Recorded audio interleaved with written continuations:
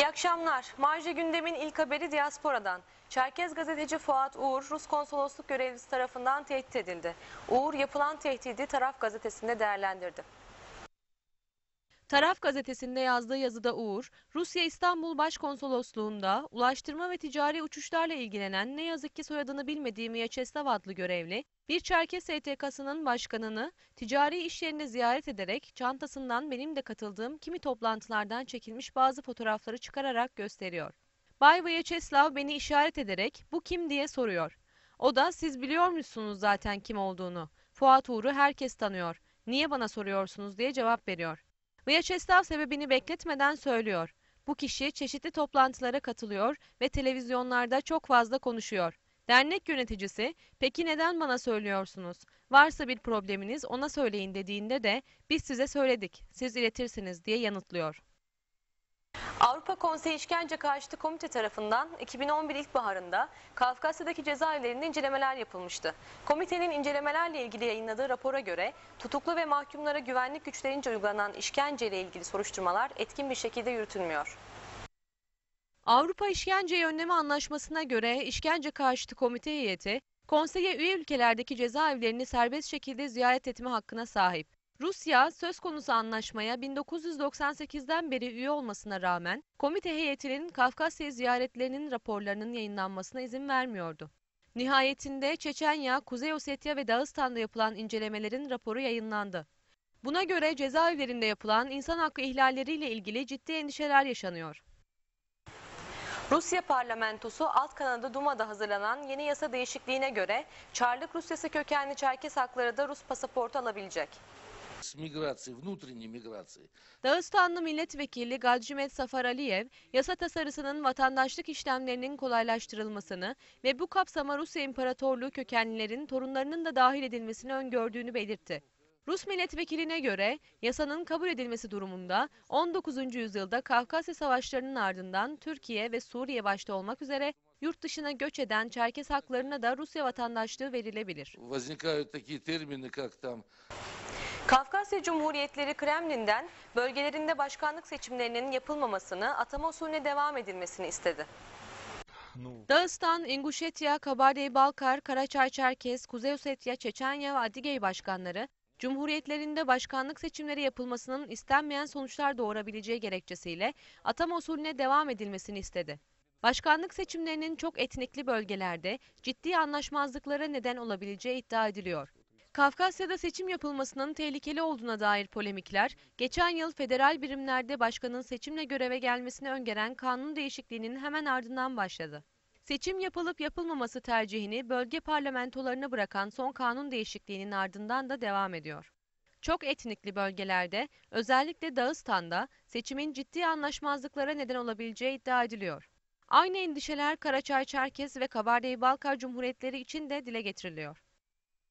Kabardey-Balkar'da yine kayıp haberi var. 22 Ocak'tan beri haber alınamayan iki kişinin aileleri olayda Slovikiz olduğunu düşünüyor. Kaybolan Nalçikli Alim Kaytayev'in kardeşi Ahmet Kaytayev, olaydan bir gün önce de İsmail Baluyev'in kaybolduğunu söyledi. Kaybolan Nalçikli Alim Kaytayev'in kardeşi Ahmet Kaytayev, olaydan bir gün önce de İsmail Baluyev'in kaybolduğunu söyledi. Kaytayev iki olayın birbirine bağlı olduğunu, kardeşi ve arkadaşının hayati tehlike altında olduğunu düşünüyor. Kayıp İsmail Baluyev'in eşi Makka Alsajeva, eşim İslam'a uygun yaşıyordu. Ülkemizde Müslümanların güvenlik güçlerince kaçırıldığı gerçeğini göz önünde bulundurunca onun hayatından endişe duymak için çok güçlü bir sebebim var dedi. Kafkasya'dan ve diasporadan derlediğimiz haberleri burada bitiriyoruz. Haftaya görüşmek üzere. Sözü Kuban'a bırakıyorum.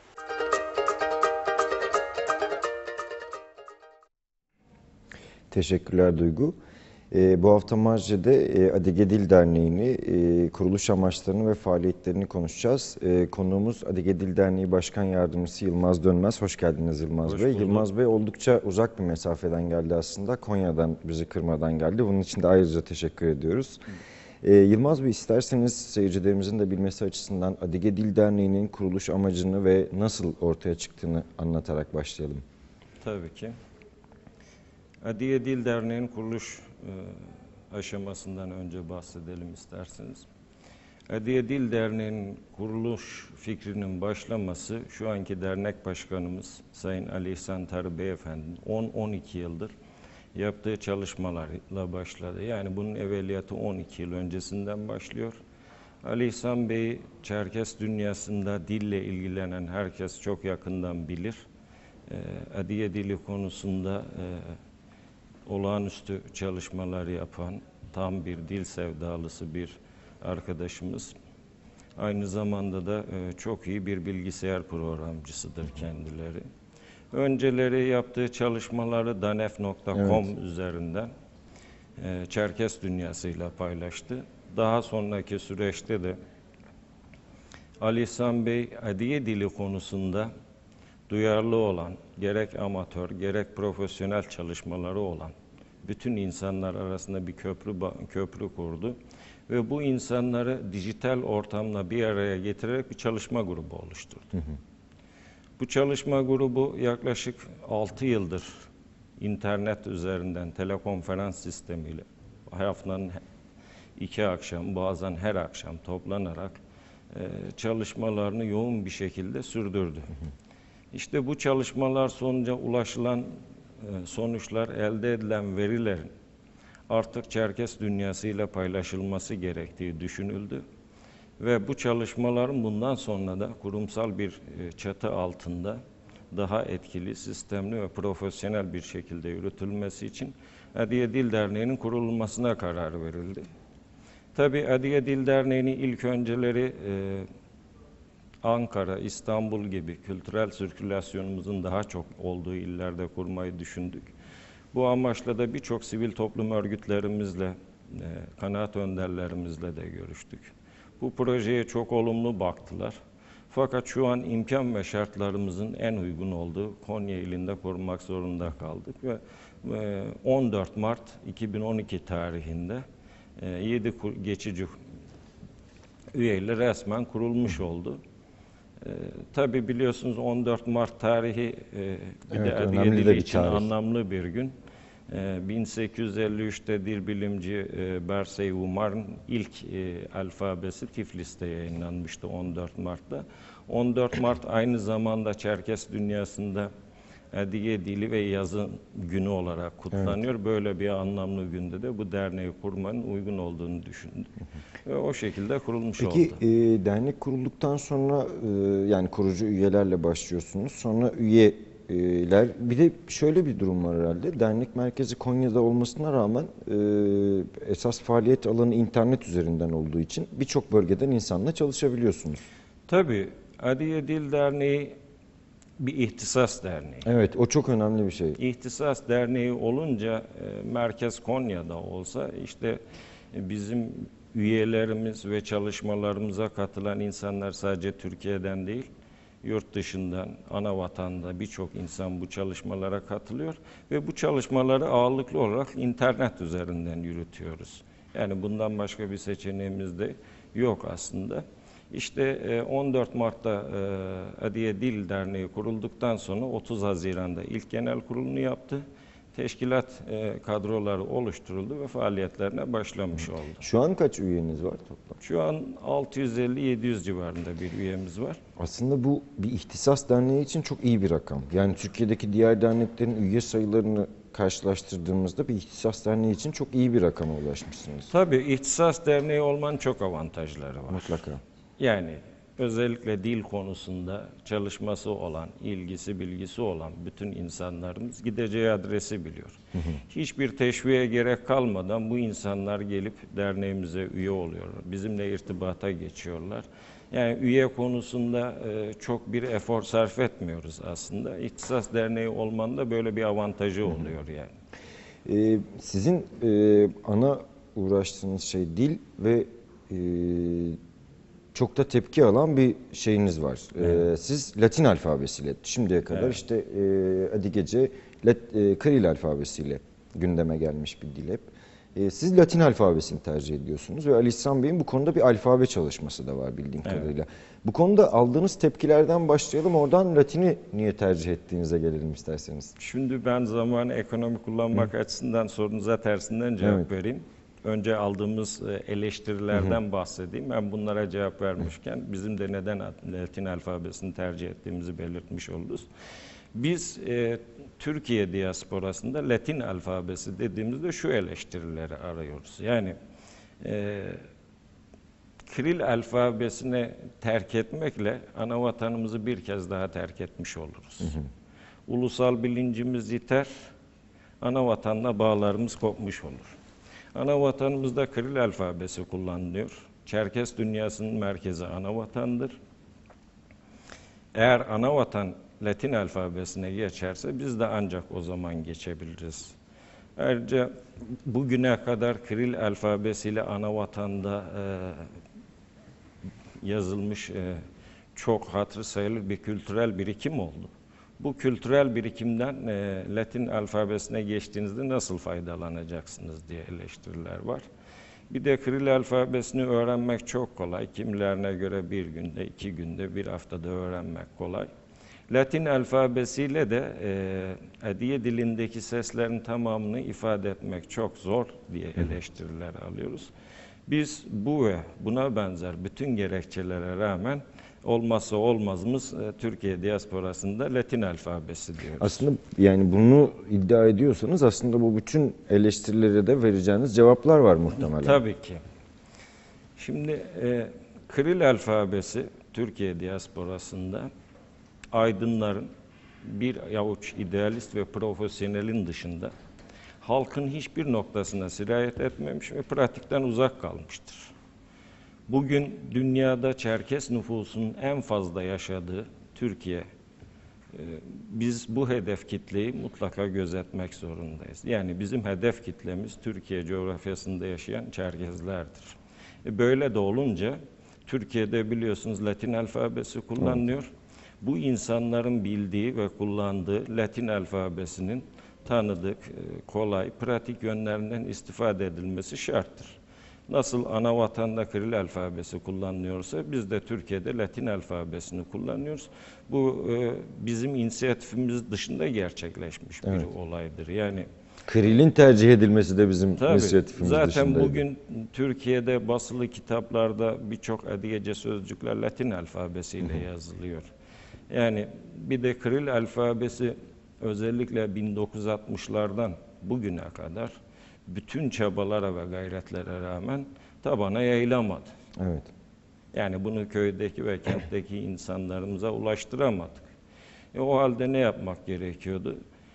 Onların bizim Kirilimize değil, bizim onların Latin alfabesine gitmemiz bize göre en mantıklı yoldu. Yani bu birincisi. İkincisi, Latin alfabesi bugün dünyada en çok kullanılan evrensel bir alfabe niteliğinde olup bilim, teknoloji, bilgisayar e, sistemleri, dijital sistemlerin en çok kullanıldığı bir alfabe. Evet.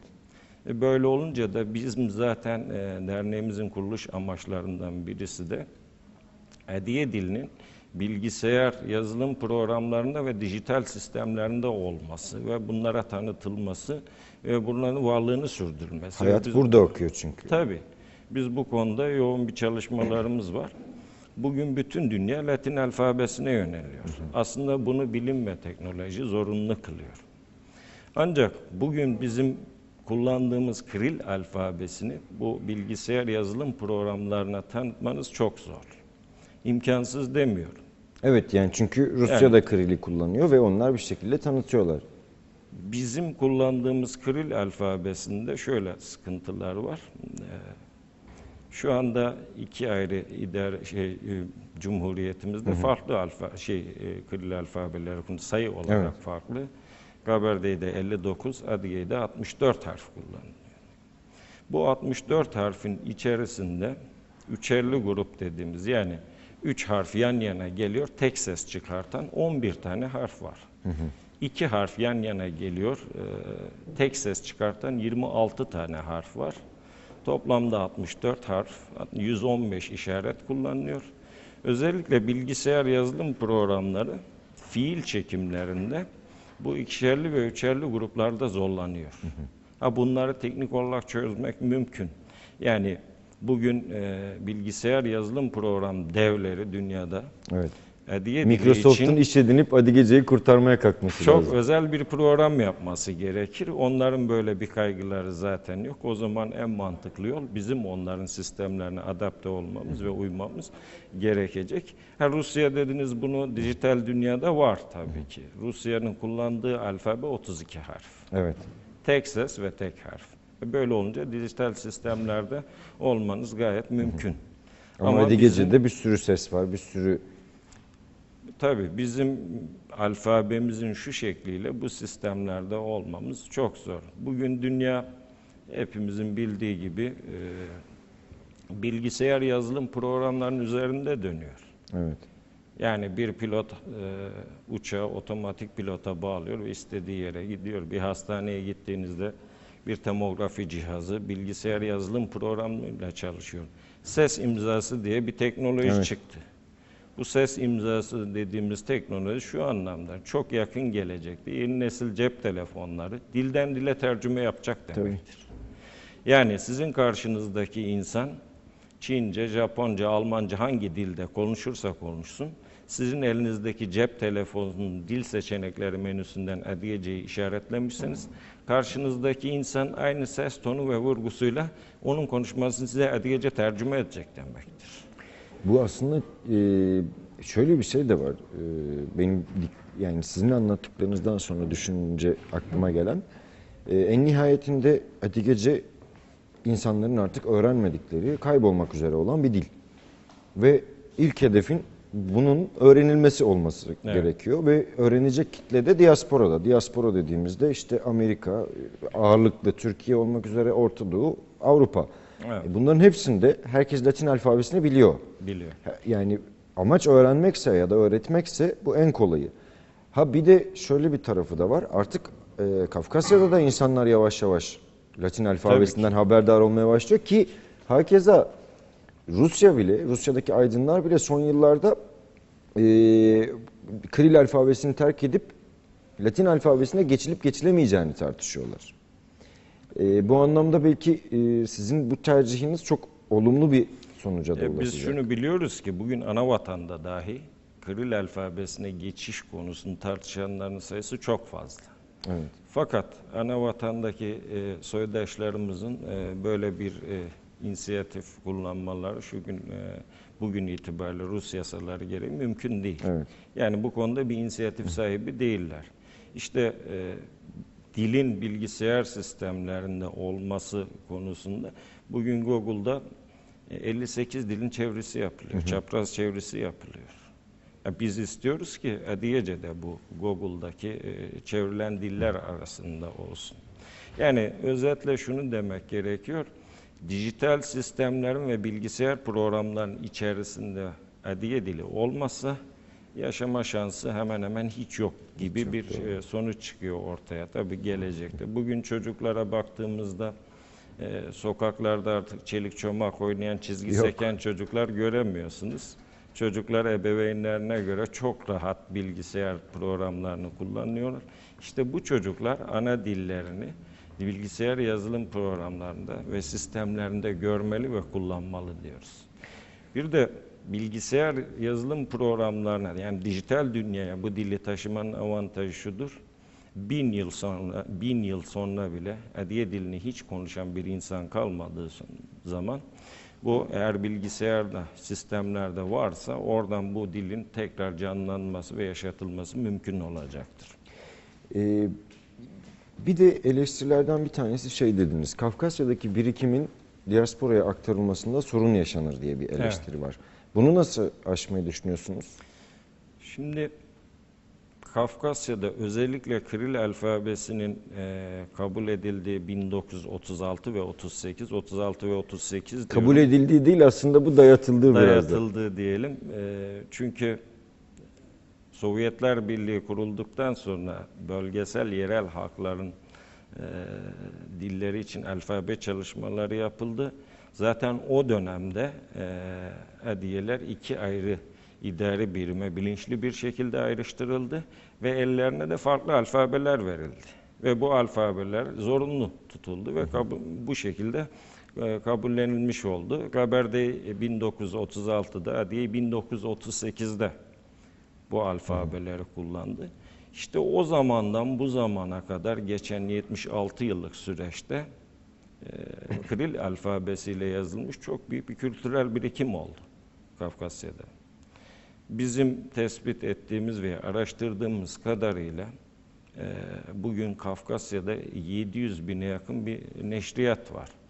Bu neşriyatlar sadece e, işte kitap anlamında gazete, dergi, broşür, roman, kitap vesaire. Hepsi Fakat yani toplam. Tabii ki.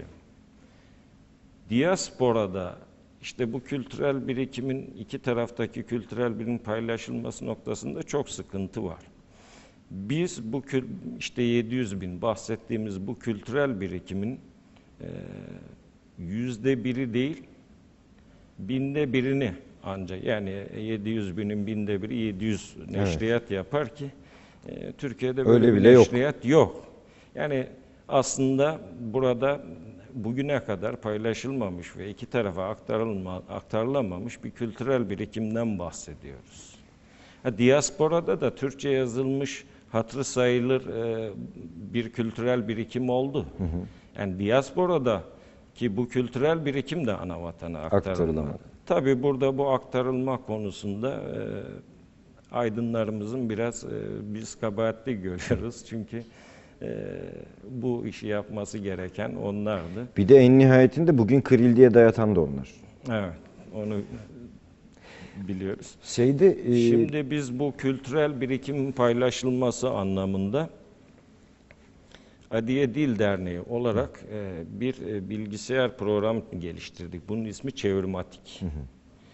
Yani bizim şu andaki alfabemizle e, Latin alfabesiyle yazılmış bin sayfa bir metni anında Kiril alfabesine çeviriyor. Kiril de Latin'e çeviriyor. Yani o zaman bu çok büyük bir olay aslında. Yani o 700 bin tane neşriyatı aslında çok kısa bir sürede e, buraya aktarmayı. Yani o iddiayı çürütmenin ötesinde şimdiye kadar yapılamamış olan bir şey de yapmanın yolunu açıyor. Yani o orada e, basılan roman Kiril alfabesinde yazıldıysa diyorsunuz yani çok kısa sürede 700 sayfalık bir kitabı atıyorum tek atlıyı hemen çevirebiliyorsunuz. Tabii biz bu programı yaptık. Ve programımızın da e, çalıştığını e, yaptığımız kurultayda da genel kurulda da e, bir fiil gösterdik. Fakat burada işte e, bir eleştiri daha oluyor. Bir telif hakları meselesi gündeme geliyor. İşte bu telif hakları konusunda da bir hukuki düzenleme gerekiyor. Belki de hukuki yönünün araştırılması gerekiyor. Bu konuda da sanıyorum ilerleyen zamanda gereken e, önlemler alınacak. Ama zaten yani Kiril'i Türkçe'ye çevirmeye kalksanız da o telif haklarıyla uğraşıyorsunuz. Burada hazır Evet. bir şablon var. Yani kim çevirmek isterse sizin sisteminizi kullanarak Latin alfabesine çevirebiliyor. Belki en önemli süreçlerden bir tanesi bu. Bu aktarım süreci buradan oraya oradan buraya. Sizin aslında elinizde var şu anda. Müthiş Var. bir iş yapmışsınız bir taraftan yani yazılım anlamında. Evet. Şimdi bu kurultay da... Bu eleştirilere devam ediyoruz. İşte Kiril alfabesini terk edersek e, bir kez daha ana vatanımızı terk etmiş oluruz. Ulusal bilincimizi yitiririz ve ana vatandan koparız diye bir e, eleştiri geliyor. Yani alfabe aslında e, bir araç. E tabii. Amaç dil öğrenmektir. Yani burada bu gözle bakmak lazım öncelikli olarak diye düşünüyorum. Ee, bir de şöyle bir yanı var. Kiril alfabesini biz e, adiyeler icat etmedik. Tabii. Yani Kiril alfabesi e, Rusya'nın kullandığı bir alfabe ve Rusya 2002 yılı içerisinde e, yerel e, bölgelerdeki bu cumhuriyetlerde kullanılan eğitimlerde başka bir alfabe kullanılmasını yasakladı. Dedi ki bu benim ulusal kimliğimdir. Şimdi biz de diyoruz ki hediyeler olarak biz hiçbir zaman Rus e, ulusal kimliğinin bir parçası olmadık. Bundan sonra da olmamız mümkün değil. Yani e, Aslında bunun alfabe konusunun çok daha derinde politik bir sebebi de var Rusya'dan kaynaklanan. Tabii, tabii. Yani e, bir de şöyle bir şey var. Dünyada Türkiye örneğinde olduğu gibi sonradan Latin alfabesine geçen birçok ülke var. Tabii. bu ülke halklarının Latin alfabesine geçmekle ulusal bilinçlerini yitirdiğini söylemek abesle iştigal olur. Yani bize göre ulusal bilince sahip olmanın en önemli unsuru ana dilini bilmek, ana dilinde konuşmak ve yazmaktır. Zira dilini bilmeyen insanları da ana vatana kolay kolay yaklaştıramazsınız. Tabii burada e, e, yani kritik kelime e, ana dili öğrenmek. Tabii ana ki. dili öğrenmek için de en kolay, en basit metodu seçmek. Sizin yaptığınız da o aslında. Tabii. Bir de şöyle bir şey var. Bu kültürel birikimin paylaşılması noktasında biz diasporadakilerin ne kadar Kiril'i öğrenme zorunluluğu varsa ana vatandaki soydaşlarımızın da Latin alfabesini öğrenmeleri, öğrenme zorunlulukları var. Yani tek taraflı bir bağ kurulamaz. Tabii. Ayrıca ana vatandaki soydaşlarımızın Latin alfabesini öğrenmeleri sadece diasporadaki e, kardeşleriyle bağlarını, bağlarını güçlendirmek için değil, aynı zamanda dünyaya entegre olmalarını da Dünyayı sağlayacak. öğrenmeleri, bilmeleri için Tabii ki. önemli. Yani şöyle bir şey diyeyim. Mesela internetten bugün herkes alışveriş yapıyor. Yani hangi alfabe? Latin alfabesi. İşte ana vatandaki bir kardeşimiz e, Amerika'dan bir ürün alacak. Latin alfabesini kullan. Bunu bilmek zorunda yani. Tabii Kirill'le bu işleri halledemeyecek. Tabii, Peki tabii. kurultay dediniz. Ee, kurultay yapma kurultay yapma amacınız neydi? Ee, kurultaya giden yolda ne tür faaliyetler yaptınız? Hangi kurumlarla görüştünüz? Çok kısa onu da alayım çünkü vaktimiz çok değil. Biz Adiye Dil Derneği olarak e, Türkiye'de ilk defa bir dil kurultayı yaptık. Bu kurultayın amacı Adiye Dil Derneği tarafından hazırlanmış Latin alfabesinin ortak bir alfabe olarak kabul edilmesi ve Türkiye'de verilen seçmeli Adiye Dil dersinin bu alfabe ile verilmesi konusunda karar alınması için yaptık. Tabii bu kurultayı 4 ay önceden yapacağımızı Çerkes kamuoyuyla paylaştık. E, alfabemizi de e, www.adiyedilder.com web sitemize koyduk. Burada e, bunun linkini de vererek dedi ki bu alfabeyi herkes incelesin, baksın, eksik ve yanlış tarafları varsa bizimle paylaşsın diye. E, birebir herkese alfabeyi gönderme imkanımız yoktu. Yani Tabii, böyle mutlaka. bir yol tercih ettik. E, kurultay öncesi taşra komisyonlarımız kuruldu. Delegelerimiz belirlendi. Çerkes dünyasındaki bütün kurumlara davetiye gönderildi. Kontenjanları dahilinde delegeler de verildi. E, netice itibariyle bunun bir e, kurultayın e, yönetmeliği hazırlandı. Bütün demokratik usuller kullanılarak. Hatta e, yönetmelikte kabul ol sayısı bütün e, şeylerde yüzde 50 iken biz yüzde 75 gibi çok yüksek bir rakamda tuttuk. Netice itibariyle de kurultayımızda hazırladığımız Adiye Latin alfabesini tanıttık. Üzerinde tartışmalar oldu. Oylandığında da yüzde 99 gibi çok yüksek bir oranla kabul edildi. Bu İkinci gün kurultayımızın devam eden ikinci gününde de bir e, dil komisyonu kurulması gerektiğine karar verildi ve orada 20 kişilik bir dil komisyonu belirlendi ve bu dil komisyonu görevi de şu şekilde e, açıklandı. Bu dil komisyonuna 6 aylık bir takvim verildi. Bu 6 ay içerisinde e, Türkçe, Adiyece, Adiyece Türkçe sözlük, imla kılavuzu, bir gramer ve üç aşamalı e, ders programları hazırlanması görevi verildi. O kurultaydan sonra da bu komisyon e, 7-24 gece gündüz çalışmalarını sürdürüyor. e, şey kurultayda oy verenler Adige Dilder üyeleri miydi aynı zamanda? Şimdi şöyle, Adiye Dildar üyeleri e, tamamı demek doğru olmuyor. E, çünkü bizim sivil toplum örgütlerinden, örgütlerimizden biz delege istedik. Bu delegeler doğal delege olarak kabul edildi.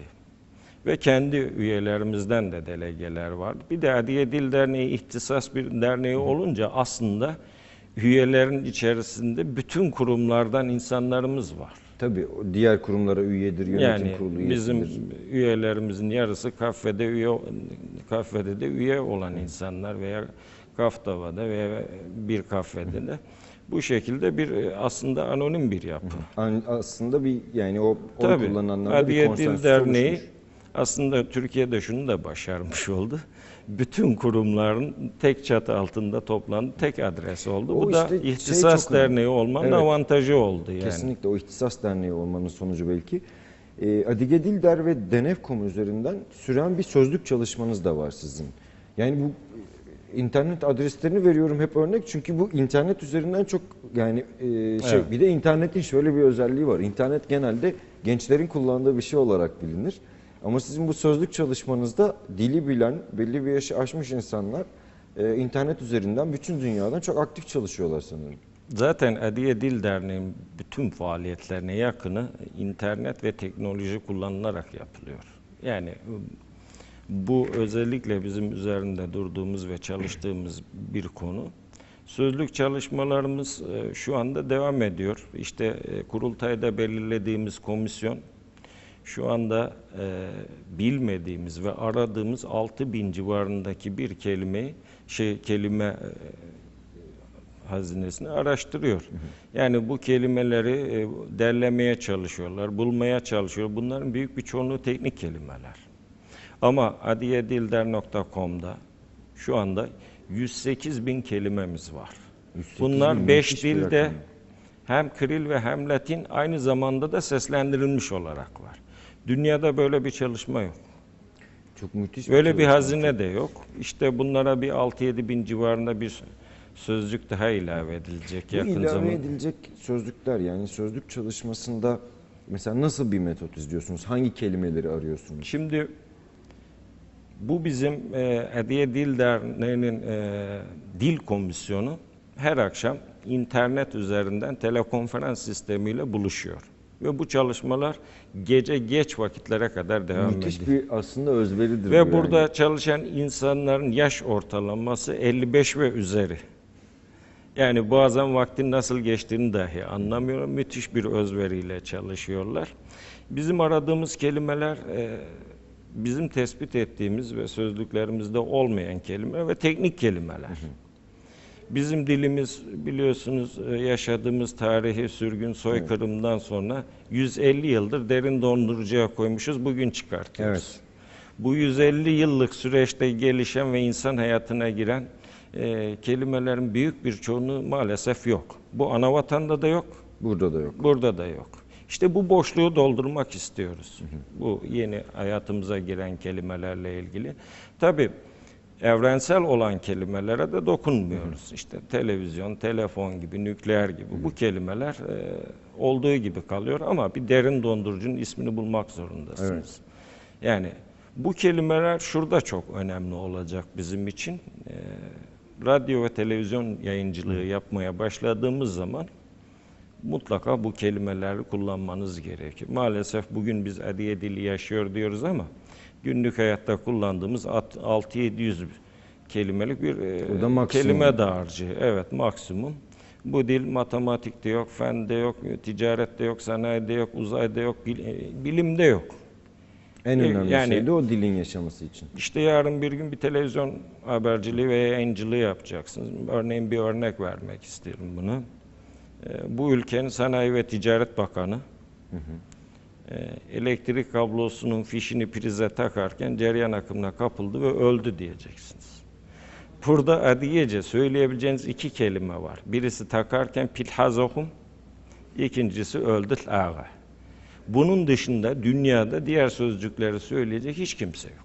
Aslında neredeyse 20 kelime söylediniz. Evet. İkisinin karşılığı Tabii ki. gece. Yani bunlar işte bu kadar basit bir haberi sunmayacak mısınız? Mutlaka sunacaksınız. İşte trafikte yok, dediğim gibi tıpta yok, hiçbir alanda yok. İşte bu teknik kelimelerinde bulunması gerekiyor. Ha bu teknik kelimeler dediğim gibi evrensel olan kelimelere dokunulmuyor ama e, bu kelimelerin bizim dil komisyonumuzda e, çok değerli e, dil uzmanlarımız da var. Hatta dil bilimcilerimiz de var. Bu kelimelerin köklerinden ve yapılarından bu sözcüklerin birçoğunu buluyorlar. Bulamadıkları sözcükler içinde e, çok yakın veya o kelimeyi, o sözcüğü çağrıştıracak e, sözcükler bulunuyor. Örneğin mesela bilgisayar e, bilgisayarda biz Şkranigaps yani bilgi ayarlayıcısı diyoruz ve bunlar bu tür kelimelerde bulunuyor ve sözlüğe dahil ediliyor ama tabii ki bu kelimeler piyasaya sunduğumuz zaman ya kabul görecektir, görmeyecektir. Onu Yani. sistem kendisi belirleyecektir yani. Burada zaten e, sizin yaptığınız aslında e, geleneksel premodern diyeyim ona bir dili e, çok kısır kalmış bırakılmış ya da bir dili tekrar inşa ediyorsunuz aslında. Yani Evet. en azından bunun çabasını veriyorsunuz. Yani- Bu inşa en nihayetinde dediğiniz gibi topluma mal olduğunda kabul edilip edilmemesiyle karşılaşılacak ama müthiş bir özveri, çok ciddi bir çaba var. Şimdi 108 bin kelime diyorsunuz. Bunun hem Krili hem Latini hem bir de seslendirmesi, telaffuzu da var web sitesinde. Tabii ki yani bir de bu bizim web sitemize bakarsanız göreceksiniz. Sadece kelime olarak değil. Bizim bir fiilmatik programımız var. 67 bin fiil, 112 zaman. Bunu ortalama 300 sayfalık bir kitap bassın 8 bin sayfa yapar ki o 8 bin kitap bu stüdyoya zor sığar. Doğru, doğru. Ama bunu tabi dili formülize ederek ve matematiğini çıkartarak bilgisayar veri olarak verdiğinizde size bu verileri veriyor. Bu program sadece biz hazırladık. Sadece Adiye Dil Derneği'nde var. Evet. İşte bir çevirmatik programı, fiilmatik programı bunlar e, sadece bizde. Bu işte veriler biz özellikle teknolojiyi çok kullanarak bu dili yaşatmaya çalışıyoruz ve bir şeyler yapmaya çalışıyoruz. Ve bunun da çok e, kolaylıklarını da yaşıyoruz açıkçası. Yani iyi bir bilgisayar programcısı çok güzel e, şeyler ortaya çıkarabiliyor. Bizim verilerimiz de bu şekilde oluştu. Abi, yani. Zaten anlattıklarınızdan şey bana yetti. Beni ikna etmeniz için Kirili koyuyorsunuz Latincesini yani sizin alfabenizde binlerce sayfayı anında Tabii ki, çeviren tabii bir programı yazmak, bunu kamuya açmak çok müthiş bir şey aslında.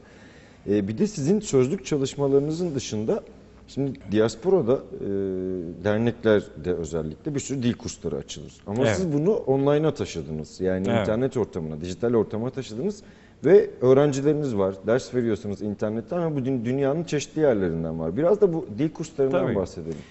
Biz bu dil kurslarını Adiye Dil Derneği kurulmadan 3-4 sene önce de veriyorduk. Danefcom üzerinden Ali İhsan yani Bey'in bu sitesi. aslında ki o süreç e, o zaman verdiğimiz kurslardaki süreç şuydu. Biz e, alfabemizi ve öğretme tekniğimizi test ettik. Ve bunun çok etkili ve performansının çok yüksek olduğunu gördük. İşte bu senede 310 civarında bir öğrenci müracaat etti. Ee, çarşamba geceleri hariç haftanın 6 gecesi bu dil kurslarımız internet üzerinden dijital olarak devam ediyor. Dijital sınıflar yaptık biz. Yani evinizde çayınızı içerken pijamanızla otururken sıcacık kış uzun kış günlerinde size böyle bir imkan getirdik ve e, şu anda kurslarımız yoğun bir şekilde devam ediyor. E, öğretmenlerimiz, öğrencilerimiz her akşam kursları e, yürütüyor. Bir de yurt dışında bizim kurslarımız var. E, yurt dışında Yurt dışında kurslarımız var deyince yurt dışında kurs açtınız sanabilir birileri. Online Yok. kurslarınız var. Online kurslarımız var. Ee, yurt dışında özellikle Avrupa ve Amerika ayağındaki öğrencilerimize de kurs veriyoruz. Hatta bu yıl e, Amerika ve Avrupa ayağına e, kurs veren bir öğrenci 3 sene önce bizim yetiştirdiğimiz bir öğrencimiz. Avusturya'da yaşıyor kendisi ve Avrupa Hiç adı grubu- gece bilmiyordu. bu öğrencimiz hiç gece bilmiyordu. Veya Şimdi hoca dış- oldu. Tabii ki. Yani biz e, 30 Haziran'da yaptığımız e, genel kurulda şunu da yaptık. İşte bu Avusturya'daki e, kız kızımızla bir de İstanbul'da yaşayan ediyor olmayan Çekoslovak bir hanımı e, canlı olarak online sistemle kurultaya bağlantısını yaptık. E, onlara bir metin verdik. Adiyece ikişer sayfa metin okutturduk. Bunlar hiç dil bilmeyen insanlardı. Ve kurultaya katılanlar bunu gözleriyle gördü ve hayretler içinde kaldı. Aslında sistem e, saat gibi çalışıyor. Sadece bizim online kurslarımızın dışında da derneklerde de kurs vermeye başladık. Şu anda Konya Derneği'nde dil kurslarımız devam ediyor. Birkaç tane dernekte de daha planlamalarımız var. E, biz şunu da yapıyoruz. Herkese açık ve net söylüyoruz. Nerede dil kursu konusunda sıkıntısı veya ihtiyacı olan herkese yardımcı oluyoruz. Gerekirse oraya öğretmen arkadaşlarımızı göndeririz. Haftanın belli bir saatlerinde kurs verebiliriz. Yani. Yani şimdi anlattığınız şey öyle bir şey ki hem müthiş bir özveri var hem de e, bu Türkiye'de bir türlü işte eğitim sisteminde iki saat olacak, bir saat olacak, tam günlü olacak şeyi siz Adige Dilder'in web sitesinde açmışsınız zaten. Devletin haberi yok bir tek. yani şimdi şöyle bir şey var. İşte bu yıl biliyorsunuz seçmeli dil ders, şey, ders olarak hadi gece okutulma haftada iki saat. Ha bu Cumhuriyet tarihinde e, Önemli bir eşik aslında. belki. çok önemli bir kilometre taşı. Bugüne kadar edindiğimiz en büyük edinimlerden birisi. Fakat yeterli mi? Aksayan ve yanlış yönleri var. Tabii ki ilerleyen zamanlarda geliştirebilir. Fakat işte bu kurslarda da Kiril alfabesiyle ders veriliyor. Şimdi bir eğitim yılı boyunca e, bir matematiksel hesap yaparsak e, 72 saat bu kurslar veriliyor. 72 saati de yani günde 8 saat Evet. aralıksız e, bir eğitim verdiğinizde 9 güne tekabül eder. Fakat 9 günde 5. sınıfa giden bir öğrencinin Kiril alfabesini öğrenme şansı yok. Bunu öğretecek kimse de yok. Yani bu bir gerçek birbirimizi de kandırmayalım. Buradan Şimdi burada amaç neydi? Dil mi öğreteceğiz, alfabe mi öğreteceğiz? Buradan aslında şeye geleceğim. Belki orada söyleyeceksiniz. Ee, zamanımız da çok daraldığı için ondan bahsedelim istiyorum ben. Ee, Adige Dilder'in bundan sonraki kısa, orta ve uzun vadeli hedeflerini çok kısa alırsam Yani Adige Dilder'in ilk hedefi şu. İşte bu oluşturduğumuz dil komisyonu 6 ay gibi bir takvim verdik. Bu takvim içerisinde sözlüklerimizi, gramer kitabımızı ve ders programlarımızı hazırlayacak ve bu çalışma bittiği zaman alfabemizle birlikte Milli Eğitim Bakanlığı'na resmi müracaatımızı yapacağız ve Adigeli seçmeli dil dersinin bu alfabeyle verilmesini isteyeceğiz. Bu bizim vazgeçilmezimiz. Ee, umuyoruz ve diliyoruz ki inşallah bunu da kabul ettirebiliriz. Bunun dışında kreş projelerimiz var. Şu anda Konya ve Ankara'da olmak üzere e, bir kreş açma e, projesi. Bu kreşlerde çalışanlar dahil bütün herkes Adigece konuşacak. Evet. Yani çocuklara bu şekilde hitap edilecek. Bunun dışında özellikle bu yıl için e, çizgi filmler konusunda bir çalışma yapmayı düşünüyoruz. Bu çizgi filmlerde işte Hediye Dil Derneği olarak e, önümüzdeki günlerde Ankara'ya gidip görüşmeler yapacağız. E, Biz altyapı ve insan gücü noktasında yardımcı olabileceğimizi söyleyeceğiz ve onların teknik imkanlarla birleştirip e, çizgi TRT Çocuk programında birkaç saatlik çizgi filmler olmasını istiyoruz. Bizim tabii ki hedefimiz çocuklar. Yani Tabii. çocuklar olmazsa olmazımız. Uzun vadede çok kısa alayım onu da süremiz uzun vadede çünkü. biz e, bir e, yaz kampı düşünüyoruz. Yani fiziki yapısıyla işte spor tesisleri, yüzme havuzlarıyla bir Adiye köyünde okulların kapandığı dönemde işte çocuklarımızın ve gençlerimizin o kampa gidip dil eğitimlerini almaları için burada sadece bizim çocuklarımız değil ana vatanda da çocuklarımızı getirip bir kaynaşma sağlan, sağlanmasını istiyoruz. Ayrıca biz Türkçe olimpiyatları gibi Türkiye'de de dil olimpiyatları yapmayı düşünüyoruz. Ee, özel ilkokulları açmayı düşünüyoruz.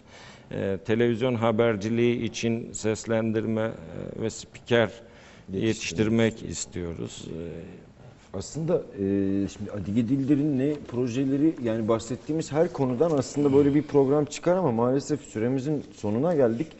E, ben mesela o köy deyince hemen Ali İhsan Bey'in projesi aklıma geldi. Ondan sonra diğer proje o çünkü bir köy inşa projesi var. İnşallah onu başka bir programda konuşuruz. Ali İhsan. Bey'i de sizle birlikte misafir ederiz.